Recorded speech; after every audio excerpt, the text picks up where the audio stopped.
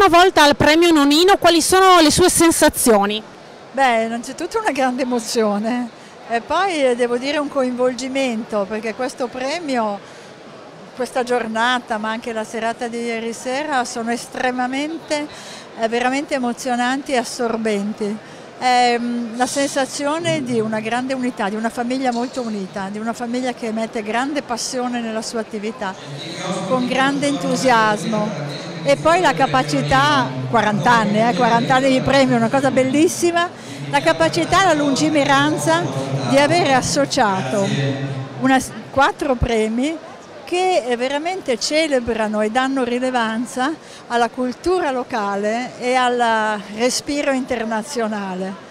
Avendo fatto delle scelte in passato veramente di grandissima intelligenza e di grandissima lungimiranza, come dicevo, perché sono state scelte persone che rappresentano la cultura nel mondo, la scienza nel mondo e che poi hanno avuto dei riconoscimenti successivi di grandissimo rilievo, tipo premi Nobel. Quindi devo dire che io sono veramente molto coinvolta e per me è una bellissima esperienza, sono contenta di essere qua e colgo l'occasione per fare veramente i complimenti alla famiglia Nonnino, a queste donne meravigliose, eh, donne, voglio sottolinearlo, che con una passione e una dedizione incredibile stanno dando veramente un messaggio di grande forza per questo paese che ne ha bisogno. Ha avuto modo di assaggiare la grappa? C'è qualcosa che le è rimasto impresso, che le è piaciuto particolarmente?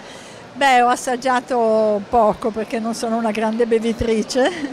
Eh, mi ha colpito che la grappa è stata servita anche come diciamo, eh, bevanda da pasto, eh? insieme per esempio con uno splendido secondo. Ho assaggiato anche dei prodotti locali di grande qualità.